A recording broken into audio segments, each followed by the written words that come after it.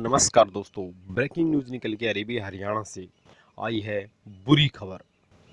छः पहुँचे केस। रेवड़ी में भी तीन केस पाए गए। चार जिलों की हालत गंभीर बताई जा रही है। क्या कुछ इन्फॉर्मेशन आई है? हरियाणा से कोविड 19 को लेकर के वीडियो अंत तक देखिएगा। रिक्वेस्ट करूँगा वीडियो लाइक नहीं किया तो लाइक कर दें। एजुकेशन नॉलेज ट्यूब नए हैं। सब्सक्राइब कर लीजिएगा। यहाँ पे आप देख सकते हैं, हरियाणा में एक और कोरोना मरीज़ की मौत।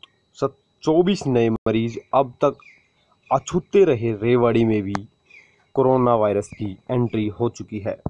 यहाँ पे आप देख सकते हैं, हरियाणा में कोरोना का वार बद जारी है। अभी तक संक्रमित से अछूते रहे रेवाड़ी ज़िले में भी तीन संक्रमित मिले हैं।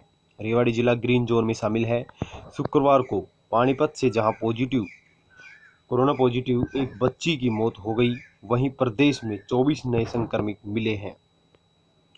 प्रदेश में संक्रमित लोगों का आंकड़ा छह पहुँच गया है। गुरुग्राम में आठ, फरीदाबाद और सोनीपत में चार चार, रेवाड़ी व जींद में तीन तीन मरीज़।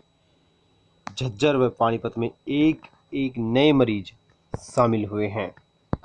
वहीं 19 लोगों को ठीक भी हुए हैं, जिसमें से फरीदाबाद के 11 नू के चार, सोनीपत के तीन और पानीपत का एक मरीज़ ठीक भी हुआ है।